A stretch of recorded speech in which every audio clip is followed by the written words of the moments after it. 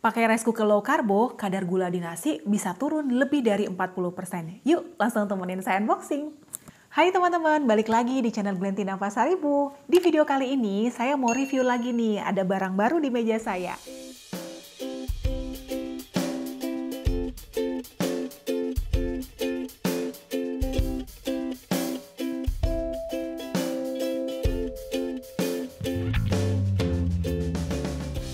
Ini adalah rice cooker Okome Low Sugar dari Umeda. Rice cooker ini punya teknologi yang bisa menurunkan kadar gula di nasi hingga 47,5% loh. Dengan kapasitas 1 liter, cukuplah ya untuk pemakaian sehari-hari di rumah. Dengan digital touch display, bikin tampilannya jadi lebih mewah. Ada preset cooking time-nya juga nih, jadi kita bisa menunda jam masaknya dan kita bisa atur sesuai kebutuhan. Dayanya cukup rendah, hanya 350 watt aja, jadi nggak bakal bikin tagihan listrik kita bengkak ya. Inner potnya dari bahan premium food grade 5 lapis. Dan untuk saringan tajinnya dari bahan stainless steel 304. Udah pada tahu kan ya kalau stainless steel 304 itu bagus banget untuk alat-alat dapur. Rice cooker ini bukan hanya bisa untuk masak nasi low sugar aja, tapi bisa untuk masak nasi biasa, atau juga untuk bikin sup atau masakan lainnya juga oke okay loh. Kalau penampilan luarnya putih, bersih, clean ya, jadi memang kalau Umeda itu identik dengan tema-tema Jepang. Kalau kita tahu peralatan rumah tangga yang ada di Jepang itu kan serba smart, serba clean, putih, kemudian dia praktis, jadi high tech juga. Nah, terinspirasi dari sana makanya ada rice cooker Okome ini. Keren sih ya. Nah, sekarang kita bahas kelengkapannya ya teman-teman. Ini adalah penampung untuk air tajinnya. Jadi yang membedakan rice cooker low carbo dengan rice cooker biasa itu adalah di pemisah antara air tajinnya. Kalau rice cooker biasa itu nggak ada pemisah seperti ini, jadi dia akan bercampur bersama dengan nasi yang kita masak biasanya di bowl seperti ini ya, langsung bercampur. Tapi kalau rice cooker low carbo, dia punya teknologi yang bisa memisahkan nasi yang kita masak dengan air tajin itu terpisah. Dan biasanya gula yang ada di nasi itu adanya di air tajin, makanya dia dipisah. Nanti saya akan tunjukkan ya cara praktek penggunaannya. Nanti akan terpisah ada di sini nih. Praktis ya. Nah, ini adalah cupnya juga. Nanti ini ada takarannya. Kalau kita mau bikin uh, low carbo, berapa takarannya. Kemudian kalau kita mau bikin nasi biasa juga boleh loh teman-teman. Kalau nggak mau masak pakai sistem low carbo, bisa juga dengan memasak nasi yang biasa. Nanti berapa takarannya itu juga ada. Atau mau bikin bubur, itu juga ada. Nah ini adalah kabelnya juga. Semeter kayaknya ada deh, semeter lebih ini ada. Jadi ini cukup banget untuk kita gunakan sehari-hari di rumah. Nah ini adalah kelengkapannya teman-teman. Mulai dari kartu garansi, rice cooker Okome ini bergaransi satu tahun. Dan teman-teman boleh baca nanti untuk ketentuan garansinya. Ini adalah buku manualnya atau buku instruksinya. Dia ada tiga bahasa ya, ada bahasa Inggris, ada bahasa Jepang dan juga ada bahasa Indonesia. Ini juga penggunaannya akan gampang banget. Kalau teman-teman mau bikin onigiri, nasi ala Jepang ya, ini juga bisa diikutin panduannya ada di sini. Nah, saya coba sharing ya teman-teman, kenapa sih kita perlu mengurangi kadar gula yang ada di nasi kita. Seperti teman-teman tahu, nasi itu adalah karbo ya, itu kan mengandung banyak gula di sana. Makanya kalau kita makan nasi yang baru mateng, itu tuh rasa manisnya terasa banget.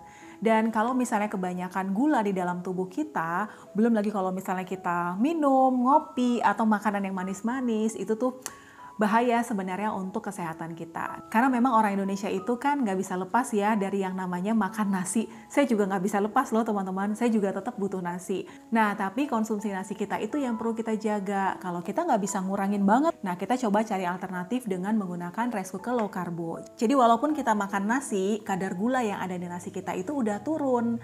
Itu juga nanti kalau teman-teman misalnya diabetes atau teman-teman memang mau maintain kesehatan ya seperti kita terlihatnya sehat. Nah, kita perlu maintain kesehatan kita dengan mengurangi konsumsi nasi.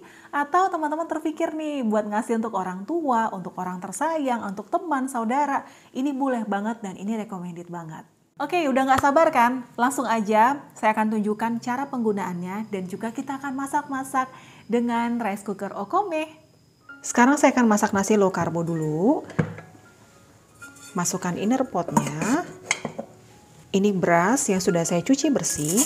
Takaran beras ini saya pakai 2 cup ya, seperti ini. Nah, kalau saya mau masak nasi low carbo, itu saya akan masukkan perbandingannya 2 banding 4 atau 1 banding 2. Karena saya pakai 2 cup, jadi airnya saya masukin 4.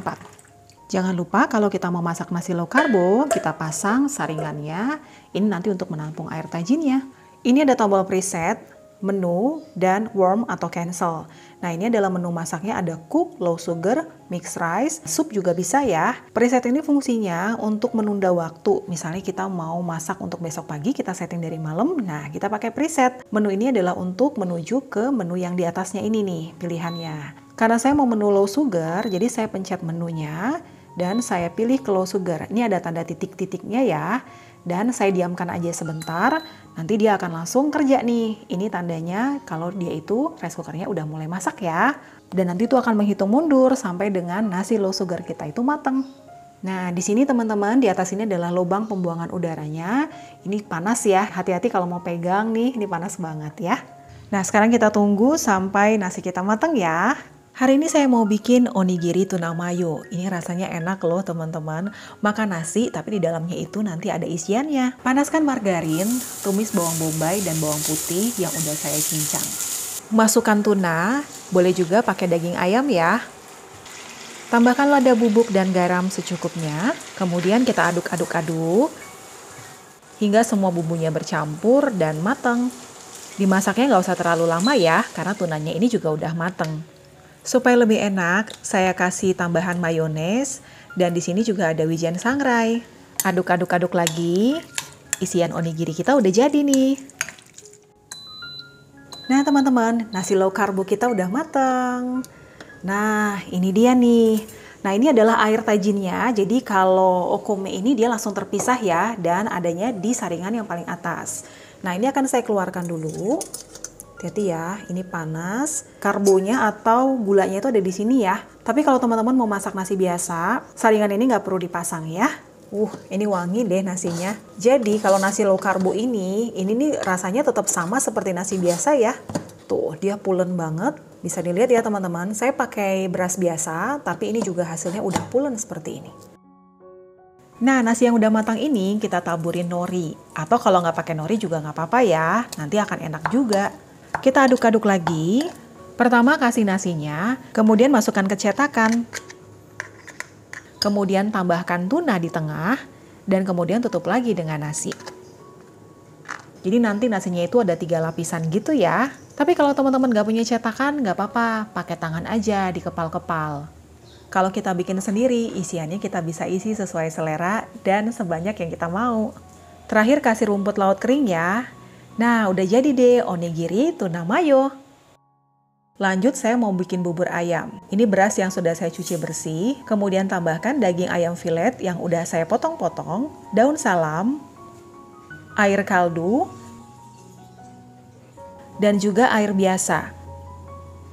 Untuk bumbunya saya pakai lada putih, garam, dan kaldu bubuk. Aduk-aduk-aduk rata, kemudian kita tutup. Untuk bikin bubur tadi, perbandingannya 1 cup beras dengan 8 cup air ya. 8 cup air ini saya bagi antara air kaldu dan juga air biasa. Pokoknya di totalnya jadi 8 cup. Nah ini dia bubur ayam kita, nggak perlu diaduk-aduk, udah mateng nih. Dan ini rasanya enak banget teman-teman. Praktis ya, masak bubur ayam pakai rice cooker Okome dari Umeda.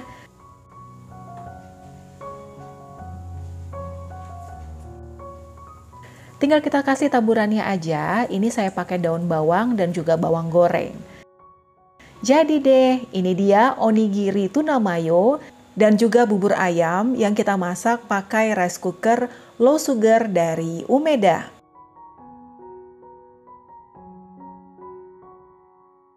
Oh ya teman-teman, sebelumnya saya juga udah pernah tuh review vacuum cleaner dari Umeda dan itu recommended banget tuh vacuum cleanernya.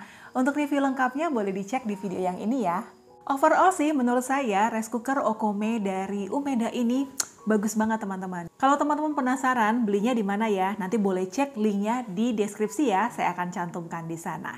Dan jangan lupa juga follow Instagramnya Umeda at Umeda Live. Oke teman-teman, sekian dulu video kita kali ini. Kalau punya pertanyaan dengan produk ini, boleh tulis di kolom komentar. Atau penasaran produk Umeda mana lagi yang harus kita review, tulis juga di kolom komentar ya. Kita ketemu lagi di video berikutnya teman-teman.